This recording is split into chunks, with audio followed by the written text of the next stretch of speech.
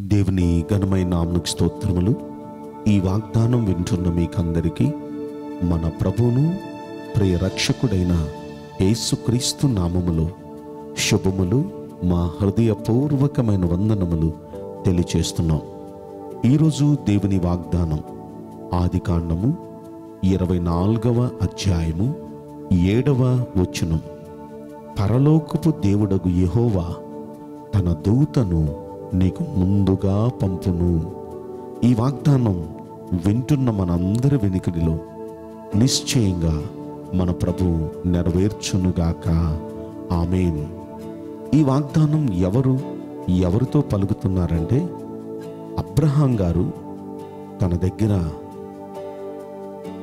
ఎన్నో సంవత్సరాలుగా ఉంటూ ఉన్న పెద్ద దాసుడైన ఎలియాజర్ని పిలిచి నా కుమారునికి ఒక యోగ్యమైన మంచి జీవిత భాగస్వామిని మా ఊరు నుండి తీసుకునిరా. నువ్వు వెళ్ళు ఇదిగో పది ఒంటెలు సామాగ్రి పనివారిని అందరినీ నీకు ఇచ్చి పంపిస్తున్నాను. యోగ్యమైన మంచి అమ్మాయిని తీసుకురాని పంపిస్తూ అప్పుడు ఈ వాగ్దానం చెప్తున్నాడు.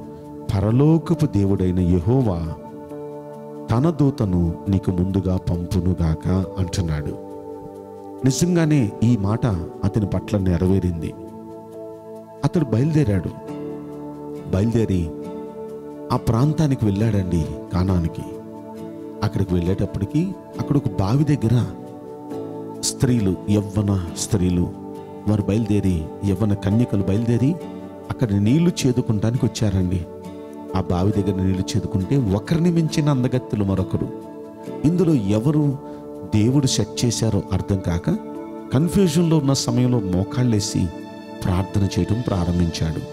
ఆయన మోకాళ్ళేస్తే ఆయనతో వచ్చిన పనివారంతా మోకాళ్ళేశారు పనివారు మాత్రమే కాదండోయ్ ఆయనతో పది ఒంటలు వస్తే పది ఒంటలు కూడా మోకాళ్ళేసినాయి ప్రార్థన చేసి ఒక మాట అంటాడు అయ్యా ఇందులో ఎవరు నువ్వు సిద్ధపరిచిన అమ్మాయో దయచేసి ఆ అమ్మాయిని సెట్ చేయండి అయ్యా. ఇప్పుడు నేను వెళ్ళి అమ్మా దాహం అవుతుంది నీళ్ళు పోస్తారా అని నేను అడుగుతాను.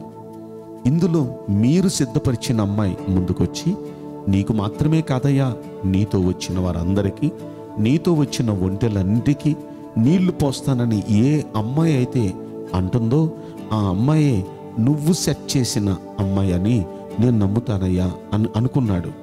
అనుకొని బయలుదేరి ప్రార్థన ముగించుకొని ఇక వెళ్ళి నీళ్ళు అడిగాడు. నిజంగానే ఆయన కోరుకున్నట్లుగా ఒక మంచి చక్కనైన అమ్మాయి ముందుకొచ్చి ఆయన కోరినట్టే అయ్యా నీకు నీతో వచ్చిన వారందరికీ నీతో వచ్చిన ఒంటెలన్నిటికీ నీళ్ళు పోస్తాను అని అందండి ఆశ్చర్యపోయాడు. నిజంగా ప్రియ దేవుని బిడ్లారా ఈయన ప్రార్థన ఎలా చేస్తే అలాగే జవాబు వచ్చింది? కారణం ఏంటంటారు? దేవుడు తన దూతను ఈయనకు ముందుగా పంపించిన వారినే దేవుడు దూతను పంపిస్తేనే ఇలా కార్యాలు జరుగుతాయి. ఆ తర్వాత ఆయన ఆయన అంటాడు అమ్మా మీ నాన్నగారి దగ్గరికి తీసుకుని వెళ్తావా మమ్మల్ని? కాదు అనే మాట అనలేదు. సరే రండి అని తీసుకుని వెళ్ళిపోయింది. వాళ్ళు ఎందుకైనా మంచిదని బయట నిలబడితే వాళ్ళ నాన్నగారు ఆ అమ్మాయి అన్న బయటకు వచ్చి యహువ చేత ఆశీర్వదించబడిన వాళ్ళారా ఏంటి మీరు బయట నిలబడ్డారు? లోనికి రండి అని లోనకి పిలిచి వాళ్ళని కూర్చోబెట్టారు వా ఒకదానికొకటి ఎంత అనుకూల పరిస్థితులు అవుతున్నాయో చూడండి. దేవుడు తన దూతను ముందుగా పంపిస్తేనే ఇలా కార్యాలు సమకూడతాయి. ఒకదానికొకటి అన్ని అనుకూల పరిస్థితులు. ఆ తర్వాత లోనికి వెళ్ళిన తర్వాత తల్లి తండ్రి అడుగుతున్నారు ఏంటి మీరు వచ్చిన వేళ విశేషం? ఏం లేదు. ఈ విధంగా జరుగుతుంది అన్నీ. ఒకదానికొకటి అనుకూలం. కనుక మీ అమ్మాయిని మా అబ్బాయికి ఇవ్వడం మీకు ఓకేనా? వాళ్ళు ఇక వెనక ముందు ఆలోచించుకోకుండా అబ్రహాం గారి కుమారుడు అనేటప్పటికీ ఇక ఓకే అనేశారు. చూడండి ఎంత సింపుల్గా ఓకే అయిపోయింది. ఇప్పుడు వారు తీసుకొచ్చిన బహుమతులన్నీ ప్రజెంటేషన్ ఇచ్చేసి ఆ బహుమతులన్నీ ఇచ్చిన తర్వాత ఇదిగో మీ అమ్మాయిని మాతో పంపించండి అన్నారు. అదేంటి? మీరు వచ్చింది ఇప్పుడే కదా.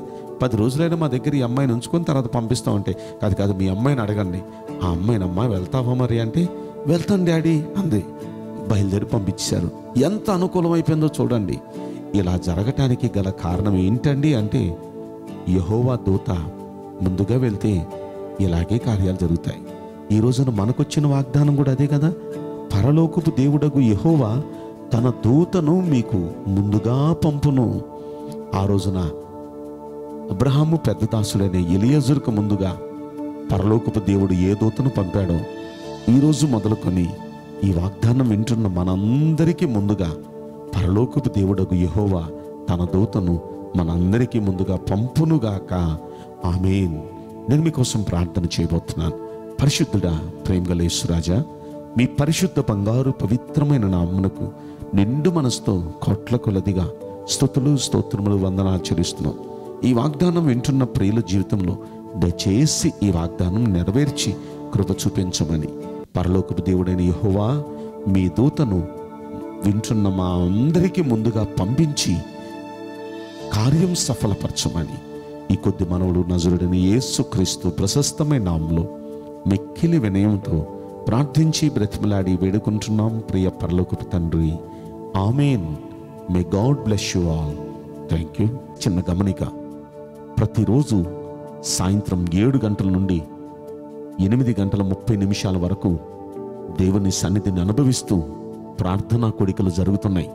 దయచేసి ఇంతకు ముందు చూడని మీలో ఎవరైనా ఉంటే మీరంతా కూడా ఆ ప్రార్థనా కుడికల్లో పాల్గొని దైవికమైన ఆశీర్వాదాలు పొందాల్సిందిగా ప్రభుపేట మీకు మనవి చేస్తున్నాం.